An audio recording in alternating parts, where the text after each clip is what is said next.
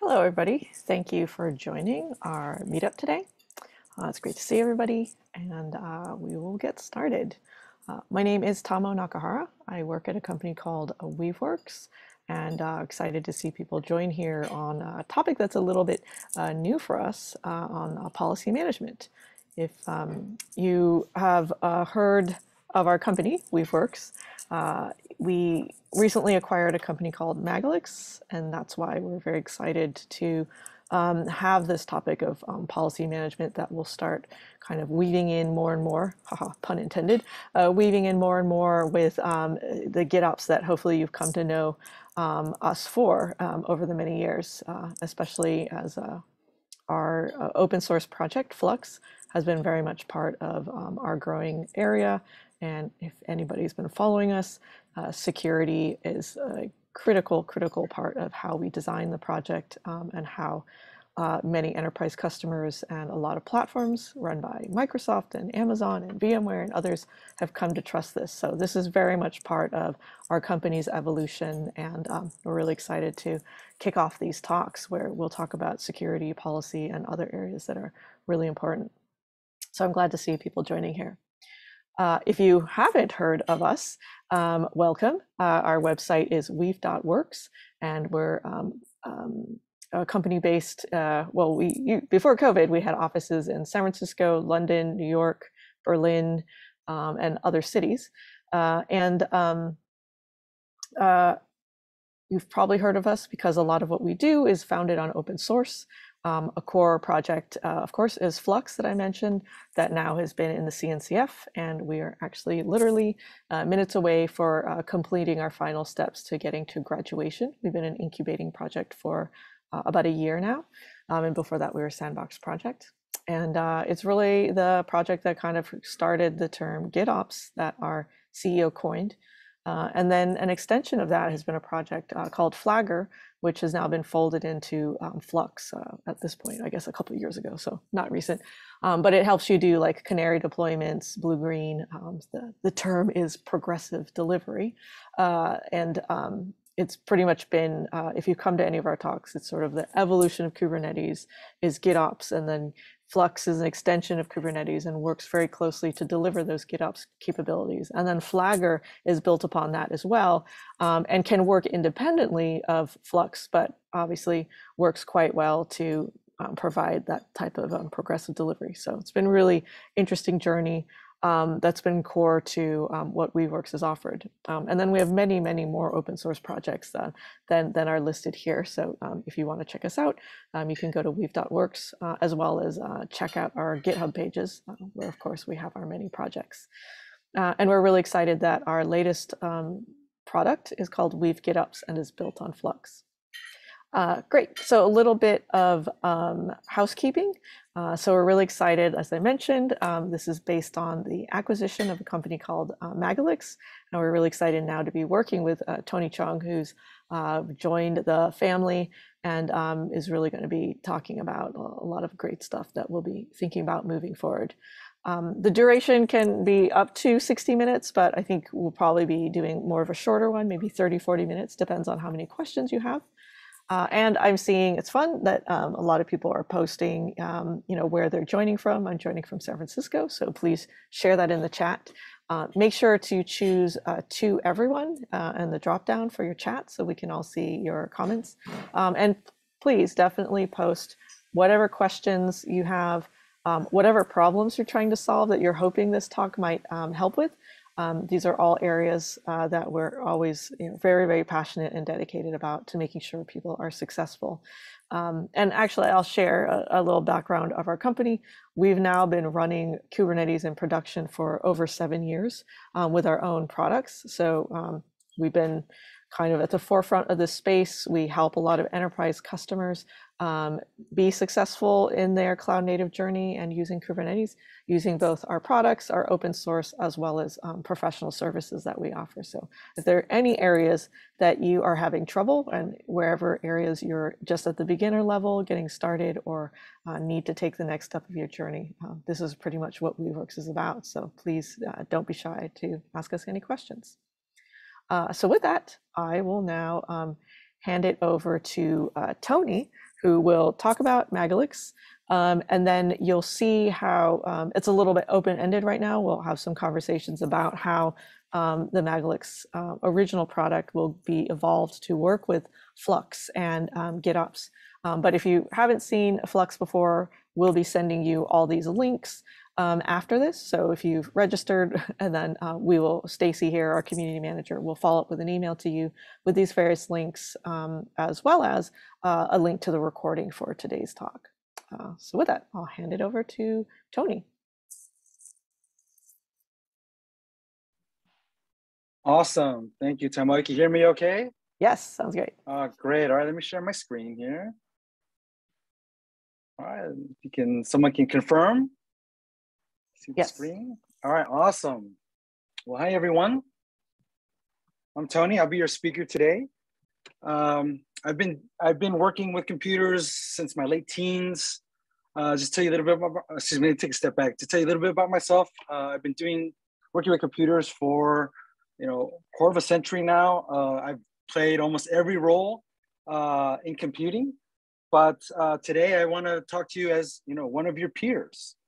Um, and uh, in my own travels, you could I've used GitOps in production. Uh, and so you can think of this more of kind of like a testimonial about uh, GitOps, what it is, you know, why there's value add in GitOps. We'll talk a little bit about the Weave Magalix implementation of GitOps, talk about some, you know, the, the solutions it provides, how you get started. And at the end, you know, we'll open up the floor to socialize because, hey, it's a meetup. I like to keep it pretty loose. And I would love to hear from you folks uh, to share some uh, of your own stories or maybe even use cases on how GitOps could potentially be useful.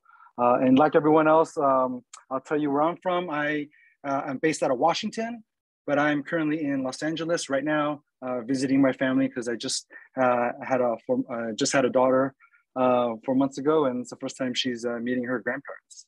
So, um, with that said, let's get right into it. So, what is GitOps? GitOps, in my own in my own view, is uh, two two things that are that are melded together to create a very robust uh, CD solution for your infrastructure. So on one, so GitOps obviously on one end of it you have Git, you know version control, source control, versioning. So if you take all of the great things that come with Git, and then you add declarative infrastructure, you know, declarative configurations, applications, if you add that together and you put that in Git, uh, and you use that as the source of truth uh, that represents what your environment looks like, and those two are constantly in sync. That, in a nutshell, in my opinion, is is GitOps, right? It's a simplified uh, definition. Uh, and to quote uh, someone that I think is an icon in the space, Kelsey Hightower, it's just version CI/CD on top of declarative infrastructure. And these days, uh, you know, it's everything is code. And so if you have CI/CD on top of um, you know declarative infrastructure and applications, and you're already doing you know continuous delivery, and you have this process, you know why would you need GitOps? And I think first, even from my own experience, I think the pressure uh, for moving fast increases the likelihood of making a mistake. Like we talk about DevOps, all the benefits of the cloud, cloud native Kubernetes, everything's supposed to be moving fast, you know, stay stay on the cutting edge of technology. But you know, that's good when everything's in motion. But you know, actually trying to get through that first um, wave of getting you know moving towards cloud native, it's it's tough. It's challenging, and it's easy to make a lot of mistakes. Uh, even in your current processes, there are you know probably human uh, steps for human intervention, and anytime there's human intervention, you know there could be a mistake made. Maybe not on purpose. You know, we all make them. I'm still learning from mine from years ago. So, you know, we, you know, making mistakes can happen even when, you know, even if you have looked over something, you know, many, many times. And so while you're working, let's say on a production system, you know, if you have a reference or a working configuration, that to me increases confidence of in when making changes. So a good example is like um, if you're doing a database migration, you probably want to do a backup first right? In case something happens, you could just, you know, there's a way to roll it back. So having something to serve as a reference uh, you know, it lowers it lowers that fear. And trust me, I've been in places where uh, people are scared to deploy, and so they don't deploy for six months. And then there's so many changes, like the, you know, the deploy is going to go bad. You already know what's going to happen. So having a reference um, is definitely uh, something that uh, you know I would I would want when making changes. And then once you figure all of that out, once you have your flow, your development flow, um, then then you have to look at okay, is everything secure? Is my cloud provider, is it, are my, are the, are the settings of my cloud provider secure? When we're talking cloud native, so is my Kubernetes secure? Are my containers secure? My, is my application secure? Am I hearing to all these standards? If I'm in an industry that's you know, heavily regulated, even lightly regulated, or we just have you know different rules that we that we uh, uh you know abide by in a team. You know, you add all of these factors in, and you know you can go crazy. Uh, I'll coin I'll coin this. Uh, I'm gonna I'm gonna reiterate a term that my uh, a friend of mine coined. Uh, he called it commit hell. If you ever been in a situation where you're making these changes that don't work and you're just constantly committing and making changes and then you're at a point where you don't even know what you're doing anymore. Uh, if you felt things like this, uh, and then you multiply that by uh, the amount of configuration in your cloud and Kubernetes, I mean, you're gonna go crazy. Um, I've had sleepless nights, believe me. And so where does where does Weaveworks, Flux, Magalix, you know, where does why does this even matter with GitOps? And so if we go back to what uh, the Kelsey Hightower quotes, um, you know, we're CI/CD on top of um, uh, declarative infrastructure. And so I would say Flux then represents the CD, the continuous deployment piece of GitOps.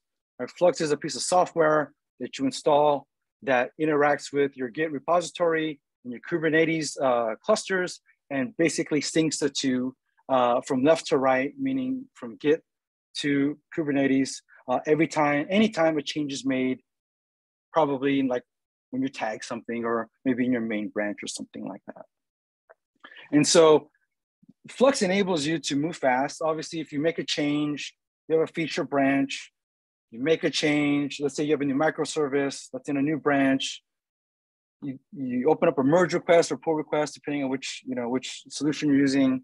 The peer reviews it, they approve it, that goes to the main branch, and then Flux, Flux would then take it and then deploy it out to your cluster. But the issue with that process is that you still have a human reviewing the code. Now that's good and that's great, and you should always do that uh, when applicable. But you know, anyone is prone to making a mistake or to overlook something anytime, especially if you had the things we talked about, the pressure, you had context switching. Uh, maybe people aren't as familiar with Kubernetes because they're not, you know, Kubernetes administrators. Maybe they're just backend developers or something like that. And so Flux solves the CD problem, but not necessarily the review challenge, uh, if that makes sense. And so to me, just the natural progression of, uh, of GitOps is making sure that there are safeguards in place to, to ensure that the most common configurations are, are always in place. That way, um, the things that are always biting you in the backside, that's the, people are always misconfiguring, the, what policy helps you do, it helps you implement codified standards. So the Weaveworks or the former Magalix policies, what are they? They're the policy with capital P, they're Rego-based as code standards. And I'll just stop right there for a second because there's a lot of you know buzzwords here, right? So policies with capital P is we're talking about particularly particularly uh, Weave, the Magalix policies, which is now you know Weave Weave policy engine. Um, what is Rego? Rego is actually uh, based uh, from Open Policy Agent, which is an open source uh, graduated project, you know, CNCF graduated project that is essentially policy as code. And what are standards? Well, they're just any kind of rules you want to uh, adhere to. And so what I want to show you is a quick technical demo because, you know, what is a, what is a, a presentation without a technical demo about how powerful this policy engine can be uh, using a very simplified uh, example. And then I'm going to talk about how we apply that to the enterprise and, and where um, Flux and uh, Weave policy come into play. Do a quick refresh here. So what you're looking at here is uh, play at an open policy. This is a tool that you can use to test uh, Rego code against, uh, in this case, JSON payloads. And uh, the cool thing about this site is that they give you some examples out of the box. So we'll go to Kubernetes. And they have uh, an example called image safety, which is ensuring every container image is from a trusted registry. This is one of the most common requests I've heard from folks like yourself regarding policies, meaning, you know, how do I, how do I lock down things and how do I ensure, um, you know, we're using approved settings such as you know, a container registry. So let's click on this for a second and I'll show you what we're looking at and I'll show you kind of how easy Rego is and how, and then how it applies to your, how it can apply to your enterprise. So on the right-hand side, we have a payload uh, for the admission review. So this is a request that the Kubernetes API would see for scheduling, I believe. And for those that have worked with Kubernetes manifest before, I'm sure this piece looks familiar uh, if you want to uh, schedule a pod. Uh, but it's probably, you know, you've probably worked with it in YAML. And so this particular pod has a front end uh, and a MySQL backend. On the left side, you have the policy. Now, what I'm gonna just break this down for you line by line, just to show you what's going on. And then so, so just plant the seed in your, in your mind on how powerful this thing can really be. So let's do this line by line real quick. So the way that Rego works, top down, it's top down in this case. And in order for a policy, in this case, it's like a negative state. In order for it to be in violation, every statement needs to be true. So in this case, we'll start with line 22. Input.request.kind.kind must equal pod. And so if we if we walk the path of this JSON, you see that input is at this top level. We'll see requests, kind, kind, pod. So that first statement is true. We go down to the second line here, 28. You'll see that the some keyword declares local variable. So in this case, some declares the variable of container. And the same thing, we'll walk down the path, input requests, object, spec, and containers. Now you see your containers is an array. And so in the code, container is equivalent to this block right here on the right. And then finally, line 29 starts with is a built-in function in, in, in OPA slash Rego. It's exactly what it is. Does something start with whatever you specify? And in this case, this container.image, which is this .image, and you have two.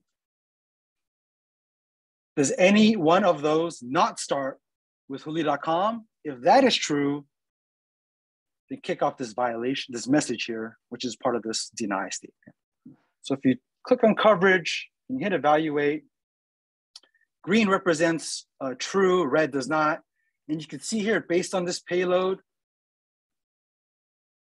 we got all the way to not starts with hooli.com, and you can see that image that my image, MySQL does not start with hooli.com, and so you're in violation.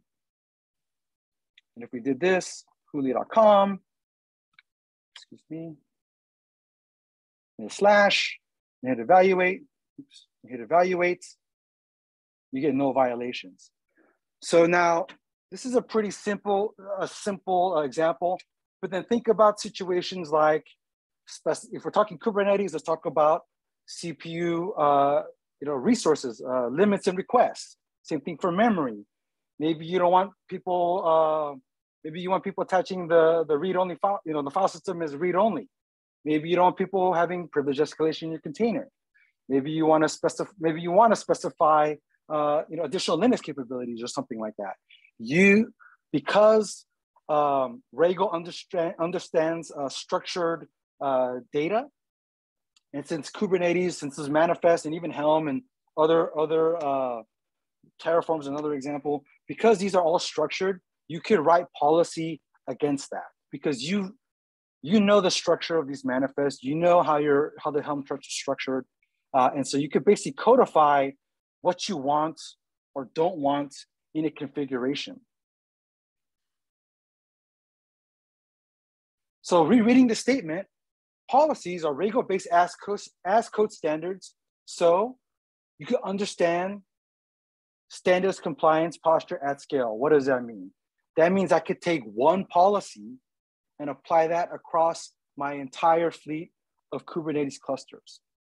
I can even do things like dev should dev can have one set of configurations that are maybe a bit more loose.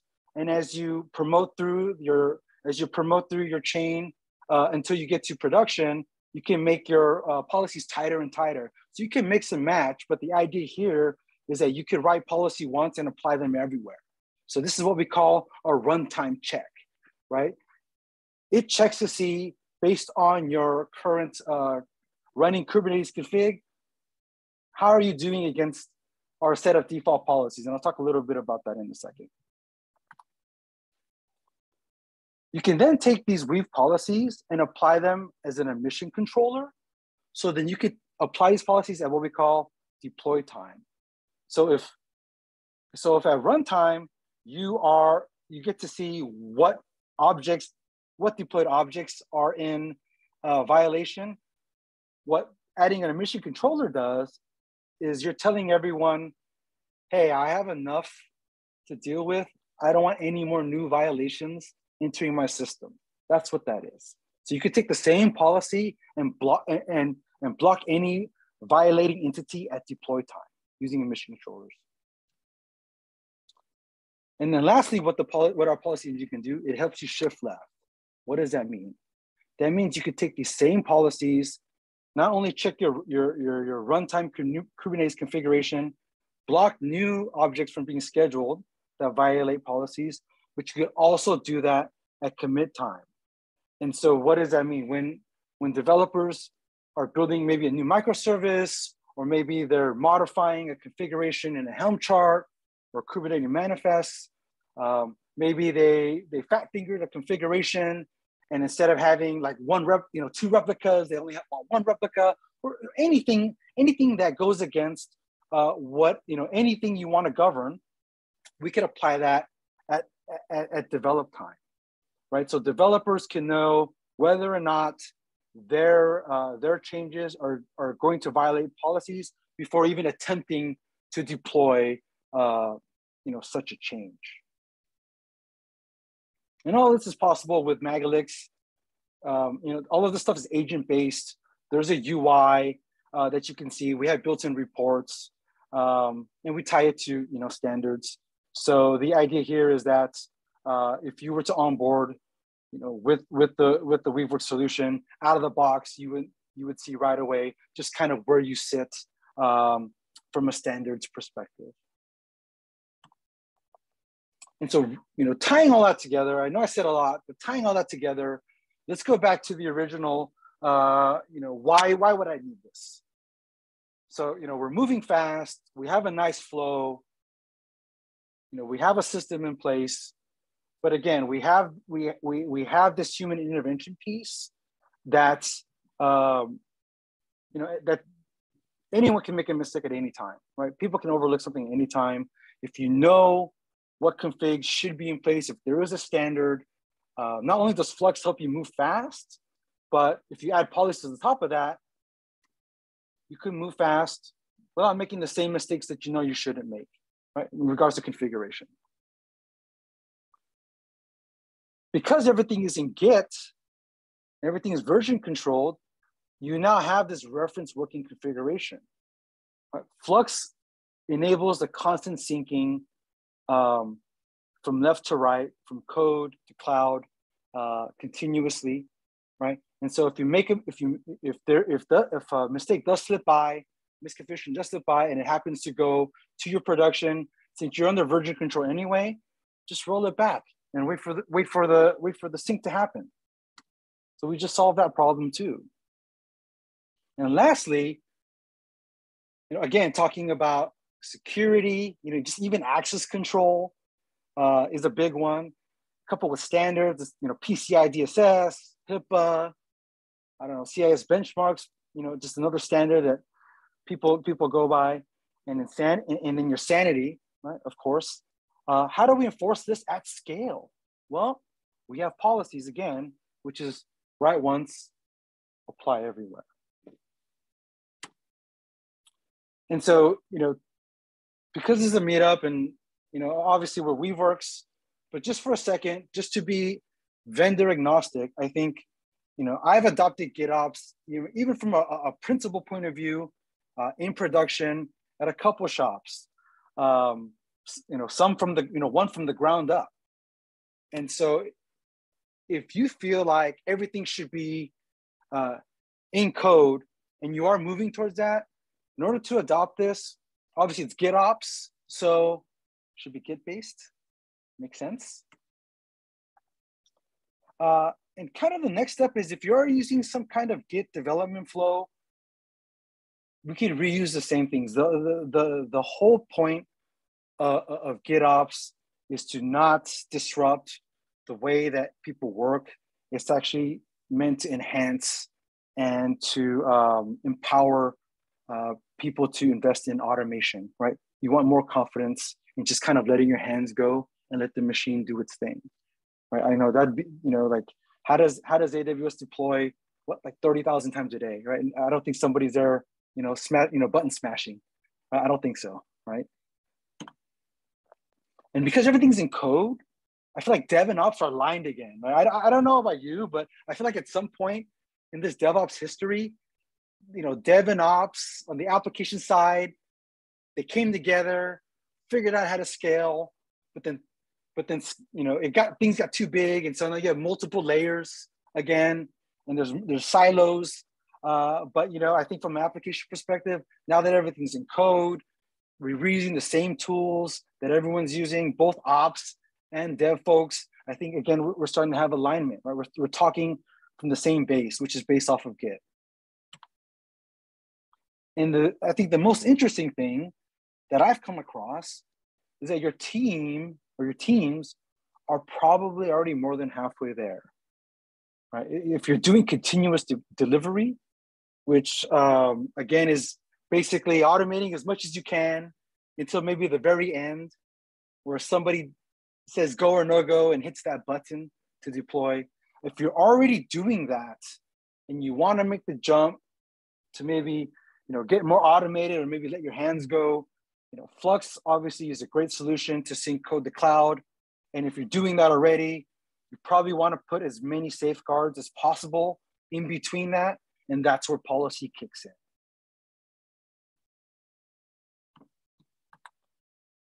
And so I know I jumped through that. Um, I'm sorry I didn't take a poll in the beginning to see just kind of where everyone is. I, I hopefully uh, I covered enough ground to you know, what the appetites of both folks that are, are just now getting introduced to the topic uh, and those that are maybe looking to uh, take that next leap in their automation journey. Um, I hope that has resonated with at least some of you and I hope we've all learned something today. Uh, and that'll conclude uh, my presentation.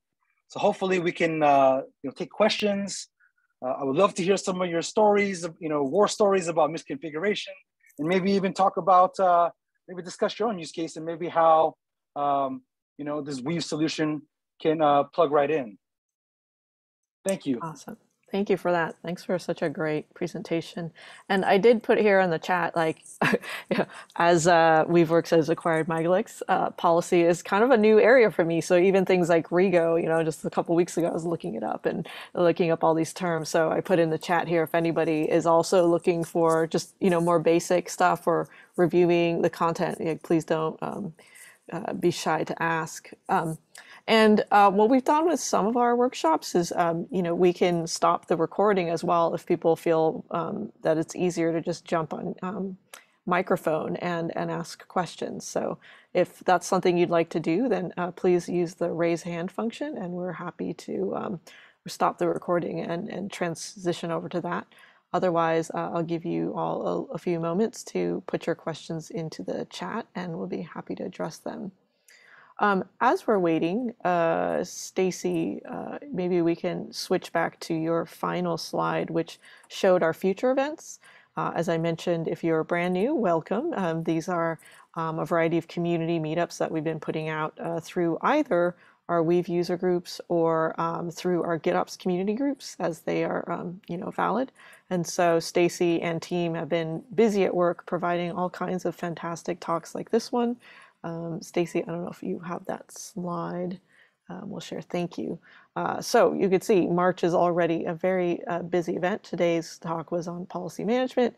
Um, if uh, you are new to um, Flux, the, the project that I mentioned that kind of helped us kick off the term GitOps. We've got plenty of talks and workshops that um, will get you started. And the workshops also include really helpful uh, intro talks on like the intro to Kubernetes and GitOps. Uh, as I mentioned a little bit in the beginning, you know, there's this um, evolution. Even Brendan Burns, the co-founder of um, of Kubernetes uh, kind of helped give us a great statement and, and a talk that we did at one of our GitOps events saying that it really is this evolution. And um, often people who are new will ask, you know, like, oh, so Flux is doing this um, GitOps part. And we'll often say, well, it's actually Kubernetes doing one part of it and Flux doing another part of it together. Um, so uh, you will get an email with um, any of these links. And also, um, we are posted on meetup.com. That's our um, probably best calendar of events. So Stace will be sharing that with you as well.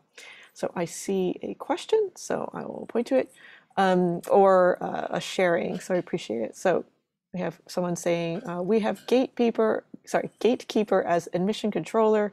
Does oops, does the policies in GitOps slash Flux overlap with Gatekeeper? Fantastic question. Thank you so much for that. Sure, I guess I'll take that one. Uh, so yes, there is overlap. Um, out of the box, we don't enable the mission controller. So if you have one going, that's great. Uh, it does serve the same purpose. I think where there's differences, it comes the value add is uh, in the in the UI, right? I think uh, with with Magalix, not only are you able to visualize how many times that admission controller, like there's violations, how many times there are, but you can also um, visual uh, using the UI uh, group more than one policy together. So it's a little bit more, uh, in this state, it's a little more click opsy uh, than it is gatekeeper, uh, but there is overlap. They do serve the same, same purpose, but uh, the big difference is Magalix is, you know, it, it has a value add of visualization, reporting, and um, you know you just write it once and you can apply it everywhere uh, using the the GUI. Excellent, thanks for that. Um, and anyone else, as I mentioned, if you want to raise your hand, we're happy to stop the recording. And uh, yeah, you're welcome. Getting some more thank yous. Awesome. Uh, Stacy will also be sharing in the email uh, links to our Slack channels. So if you come up with a question or you share this with your team and you have questions later, we're happy to continue chatting with you uh, in our Slack channel. So you can see Tony and others there as well. Cool. Well, if that's it, thank you so much for joining. We really love um, seeing our community members come here. And um, yeah, like I said, I'm also learning as well. So if there are any areas here where you think it's really, really relevant to be uh, understanding stuff about policy or how you'd like to use it, uh, you'll see Tony and us in the Slack, and we love any of your feedback on this. So thank you. And thanks, Tony. It's really great uh, chatting with you. likewise. Have a good one, everyone. Thank you for All your right. time. Thanks, Stacy. Thanks, everybody. Bye.